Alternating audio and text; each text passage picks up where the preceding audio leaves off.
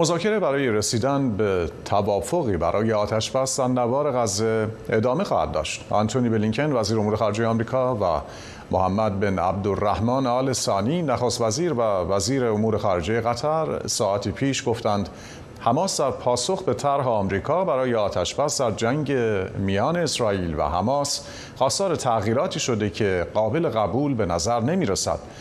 در کنفرانس خبری مشترک در دوحه آی بلینکن و آلسانی تاکید داشتند که هرچه رسیدن به توافق طولانی تر شود مردم هر دو طرف درگیری درگیر بیشتر در عذاب خواهند بود. وزرای امور خارجه هر دو کشور به نوعی از این بابت ابراز کلافگی کردن گیتا آرگن از وزارت خارجه با ماست. گیتا از خواسته های حماس و پاسخ بلینکن برامون بگو.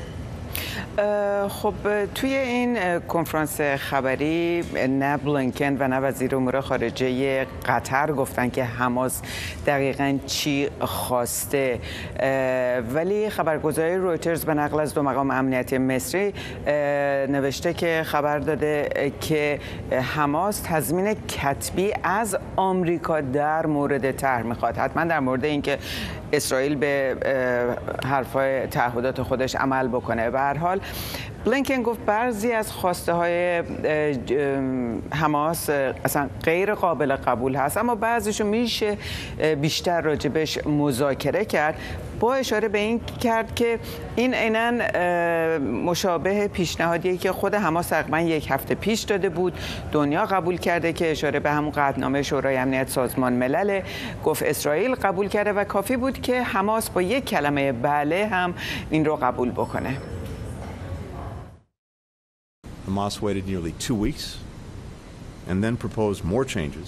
حماس تقریبا دو هفته صبر کرد تا جواب بده. بعد هم تغییرات بیشتر خواست. تعدادی از اونا خارج از حوزه چیزی است که قبلا اصرار داشتن و قبول کرده بودند در نتیجه همونطور که نخست وزیر الان گفتن جنگی که حماس با حمله وحشیانه علیه اسرائیل و غیر نظامیان اسرائیل در 7 اکتبر شروع کرد ادامه خواهد داشت.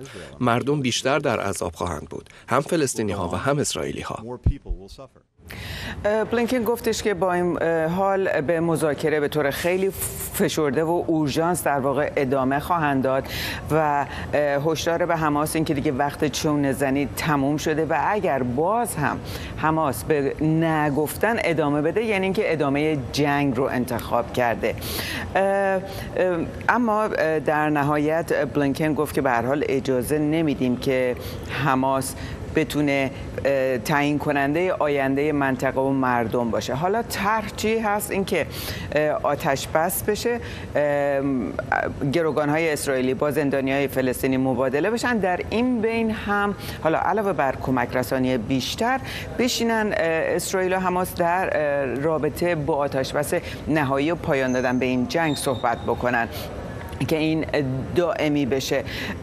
بلینکن ضمن اضافه کرد که در آینده نزدیک هم یک سری آمریکا طرحهایی خواهد داد در رابطه با آینده بعد از این جنگ که نوار غزه رو چه کسی مدیریت بکنه چطور باسازی بشه امنیتش دست کی باشه.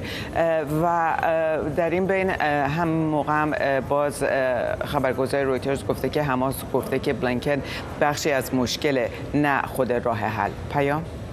سپاسگزارم. ممنونم. گیتا آرگن منتظر گزارش بعدی تو از وزارت خارجه آمریکا هستیم. و اما در ادامه این بخش خبری